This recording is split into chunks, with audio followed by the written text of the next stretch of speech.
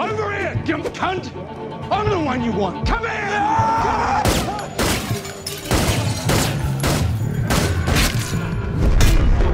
Fucking with the wrong people. What? Wanna know what I do when I'm sad? I'm scared. Fuck it. Cause I'm not fucking with this. You gotta fight for it. I'm talking about